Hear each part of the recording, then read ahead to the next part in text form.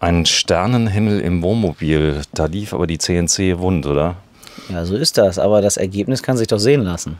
Ja, ein Sternenhimmel. Du kannst ihn sogar per App kannst du das einstellen. Wie funktioniert das? Ist, ist das Glasfaser oder sind das viele kleine LEDs? Das sind alles ganz viele äh, Glasfaserenden, die im Grunde genommen aus dem Baldachin rausgesteckt werden. Und äh, die können wir farblich komplett steuern. Wir können auch Sternschnuppen durchziehen lassen. Mach mal. Soll ich das mal machen? Das ist tatsächlich so ein Zeitrhythmus. Also alle 40 Sekunden sollte ohnehin eine Sternschnuppe durchlaufen. Also damit ich nie wieder einschlafen kann, oder? Es geht ja gerade darum, den Sternenhimmel auch mal genießen zu können, selbst wenn vielleicht mal ein paar Wolken davor sind. Da war gerade einer gewesen.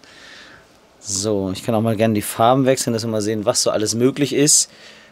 Also je nach, so, der- der- nach Lust und Laune. der grüne. Farbe- Genau. Je nach Lust und Laune können wir dann den, die Farbe komplett wechseln. Und auch die Intensität. Also ich kann jetzt auch mal runterschrauben. Zum Beispiel, dass man sagt, man will es etwas weniger haben. Das äh, braucht ja kein Mensch, oder?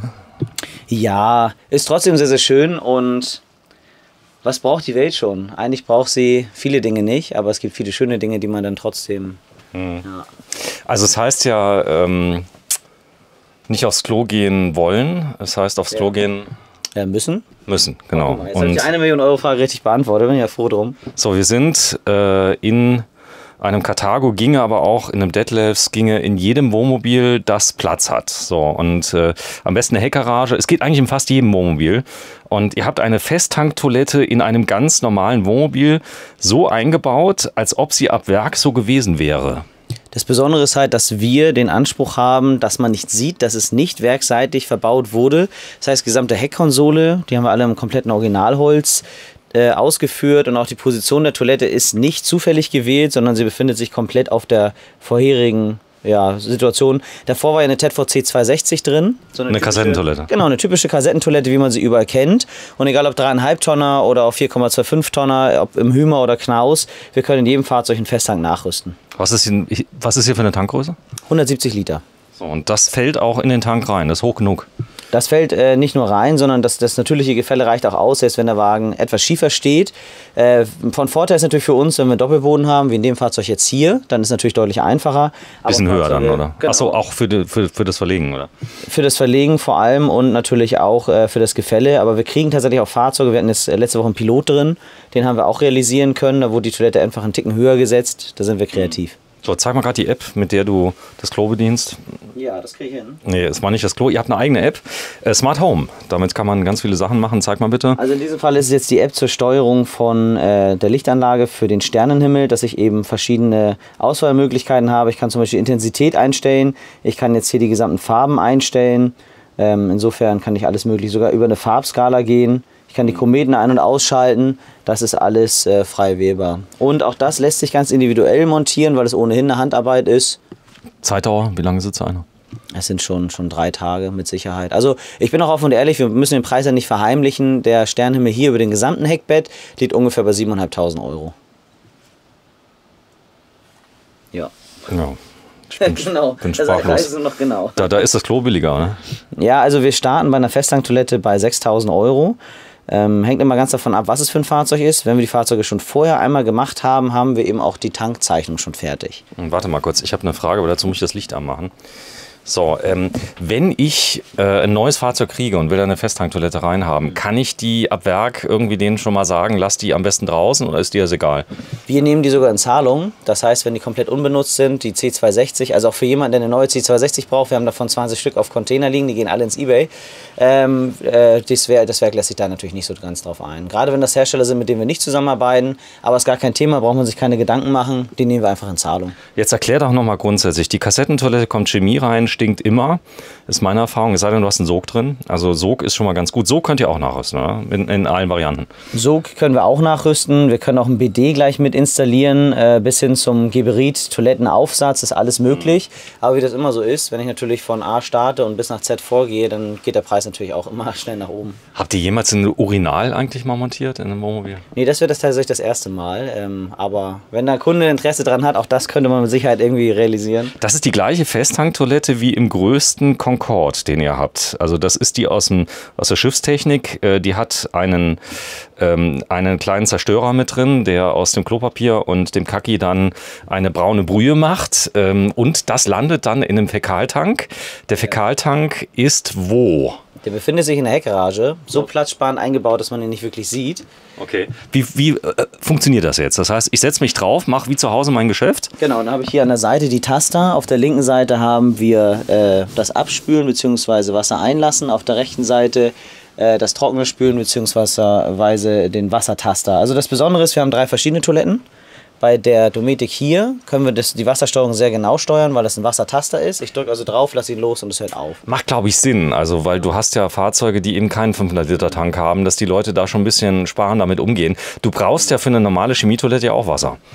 Äh, wobei man auch da sagen muss, wir bauen ja auch Tecma ein, je nach Kundenwunsch. Bei Tecma haben wir den Vorteil, dass sie deutlich mehr verschiedene Größen haben. Mhm. Können wir auch sogar selbst in einem Kombibad, wo eine Dusche mit integriert ist, kriegen wir einen Festhang mit eingebaut. Das ist dann die kleinere Tecma.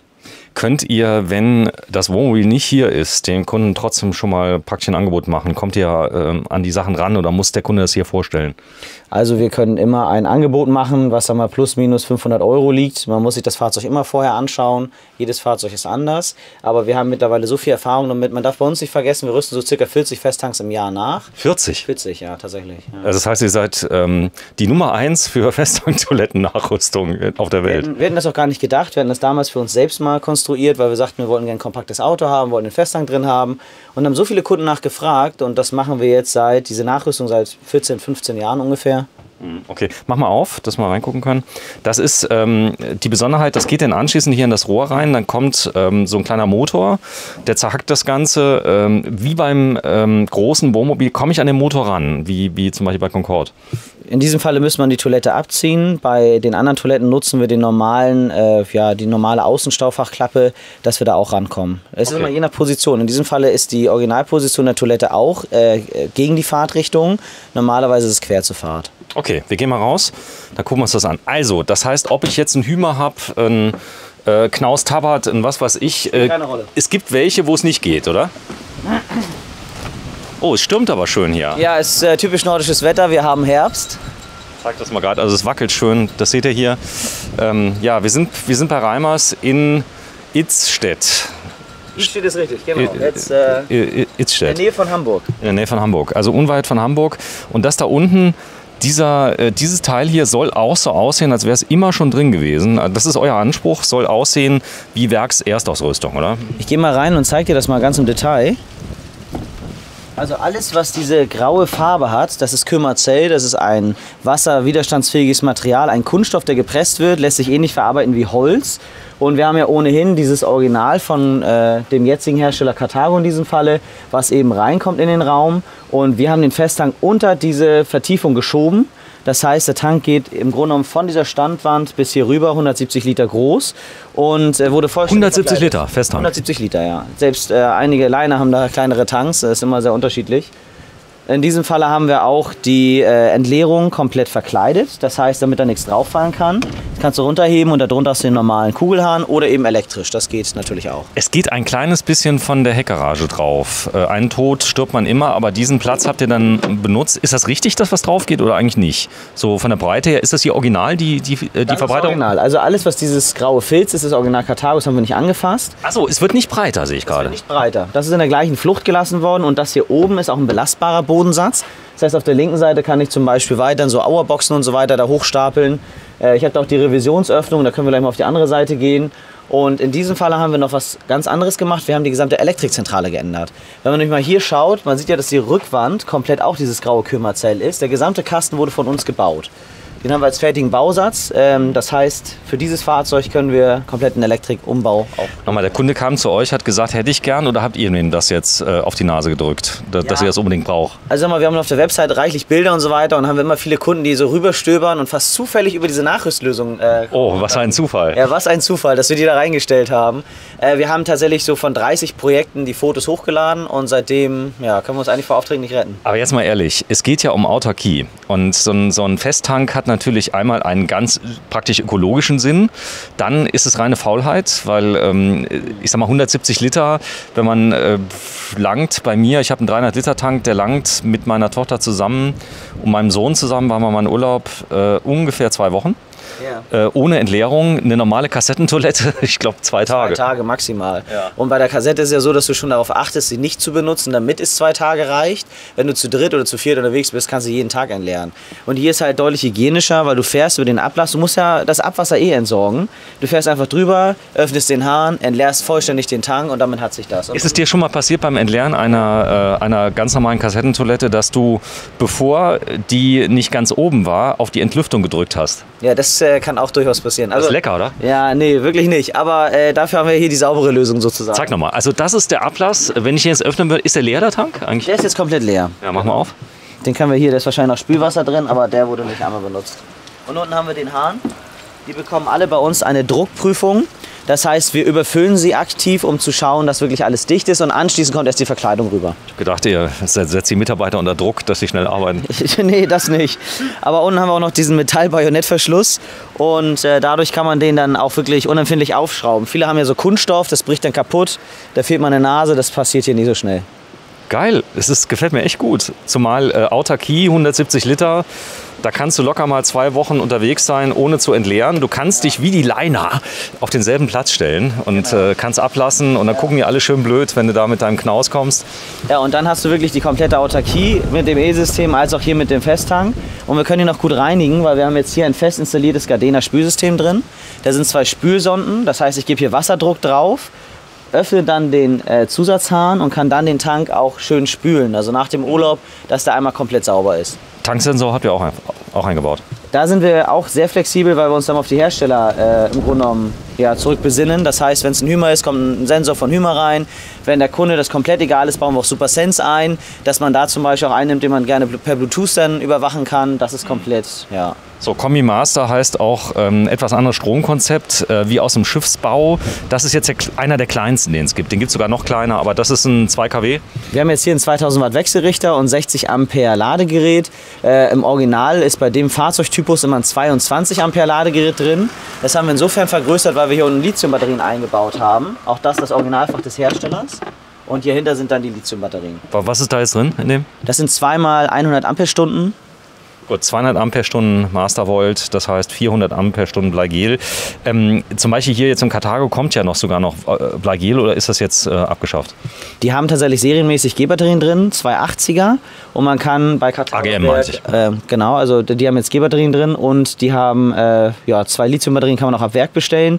Hier haben wir jetzt aber wieder dieses typische Thema Fernwartung. Der Kunde wollte auch im Notfall, dass man jederzeit helfen kann. Und natürlich alle sauber beschriftet, wie sich das gehört. Ja, man muss sagen, das ist jetzt nur fürs Video so gemacht. Ähm, also jetzt in Wirklichkeit sieht das aus wie eine geplatzte Matratze, oder? Genau, nein, Quatsch. Das ist ein Standard von uns, gerade diese Verteilung, äh, weil wir wollen ja auch, wenn der Kunde anruft, wissen, wie es montiert war. Ja, wir werden einen schönen Test machen am Donnerstag. Wir werden mal ein Kabel abbrennen lassen, äh, was einen Kurzschluss hat. Da bin ich auch gespannt. Eure Leute, haben die überhaupt Ahnung von Elektrik? Sind äh, da, da zugelassene Leute dran oder sind das so praktisch Amateure? Wir haben tatsächlich uns sogar einen Zertifizierungsprozess von Mastervolt unterzogen. Das war sehr kompliziert, aber am Ende des Tages hat es sich gelohnt. Und wir haben im Grunde genommen äh, uns komplett lizenzieren lassen von Mastervolt und sind mittlerweile sogar Premium-Partner.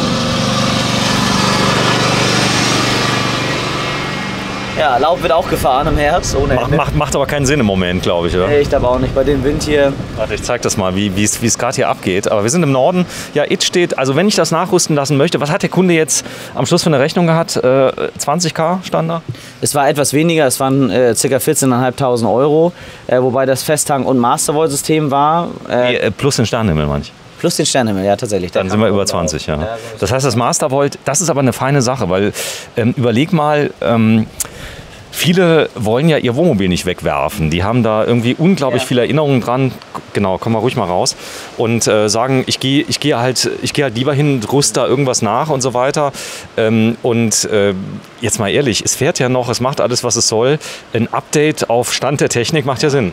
Nicht nur das, sondern zusätzlich hast du auch noch viele Kunden, die wollen gerne ein kompaktes Auto haben, wollen irgendwo ein Fahrzeug um die 8 Meter oder gar unter 8 Meter. Und wenn du da ein Festhang- und Mastervolt-System installieren kannst, dann gibt es halt auch gar keinen Grund für die, dann auf einen größeren äh, Liner gehen zu müssen. Okay, hier vorne ist noch eine Klappe. Was ist da drunter? Das ist eine Revisionsöffnung, die können wir einmal aufmachen. Und darunter befindet sich dann äh, die Hauptrevision für den Tank und eine der Spülstutzen. Ja, es sieht so gut aus. Es könnte ja der Hersteller auch ab Werk mal einbauen. Aber sei froh, denn sonst hättet ihr ja nichts zu tun. Für uns ist es ein gutes Geschäft, weil wir uns da mittlerweile, also wir machen auch kaum noch Werbung, was das Ganze angeht. Wir, werden, wir haben so viel Nachfragen danach, das ist der Wahnsinn. Also bitte ruft, ruft erst gar nicht an. Ja, denn, äh, nee, wenn das jemand haben möchte, ruhig fragen. Ähm, ihr habt die Werkstattkapazitäten ordentlich nachgerüstet, oder? Wir haben die äh, Werkstatt um äh, sechs Fahrzeugspuren erweitert. Da machen wir auch nochmal einen Rundgang zu. Und die sechs Fahrzeugspuren sorgen jetzt dafür, dass wir insgesamt 13 Spuren haben in der Werkstatt.